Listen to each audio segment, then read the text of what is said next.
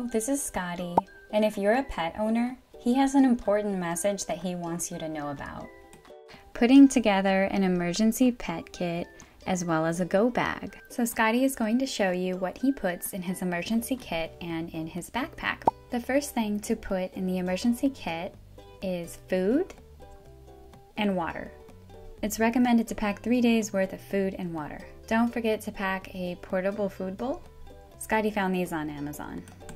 The next item is a first aid kit, and a good pet first aid kit will contain bandages, antiseptic wipes, scissors, tick removers, a styptic pen which stops bleeding, and a thermal blanket. This pet first aid kit comes with all of those things. And if your dog has specific medical needs, such as medication, be sure to include their medication in this emergency kit. The next set of items to pack are an extra leash and collar for your dog with an ID tag if possible. The next items are comfort items. These could include their favorite toys, treats, and bedding that can make them feel comfortable during an emergency. I'm going to put in a really soft, cozy fleece blanket for Scotty that I know he'll love, and I'm also going to put in a couple of toys. Scotty, do you want a chew toy or a ball? Oh, you want the ball? You know what? I think we have room for both. I'm to throw in a surprise antler for him as well.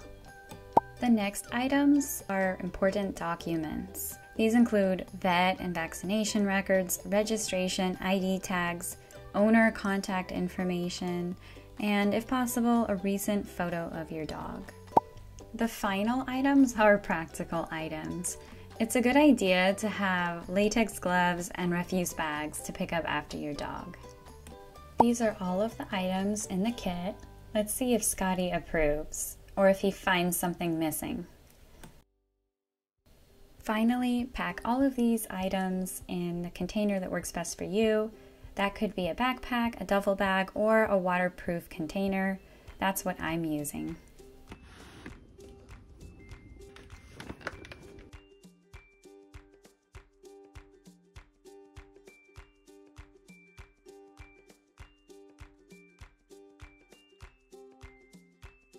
Now Scotty is going to show you what he puts in his emergency go bag.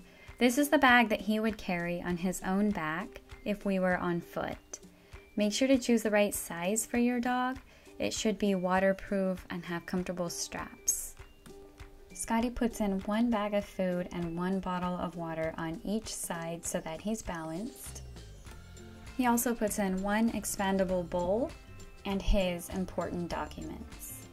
Can't forget refuse bags. And that's it. He's a little guy, so he can't carry much. Oh, and if your dog is too small or old to carry its own backpack, just be sure to pack their stuff in your go bag. Now we're to put Scotty's backpack on him and take him for a test run to see how he does. Test runs are always a good idea because sometimes these backpacks can be a little complicated to strap on your dog. It took Scotty a few minutes to get used to it, but once he did, he actually was ready for an adventure and wanted to keep walking in it.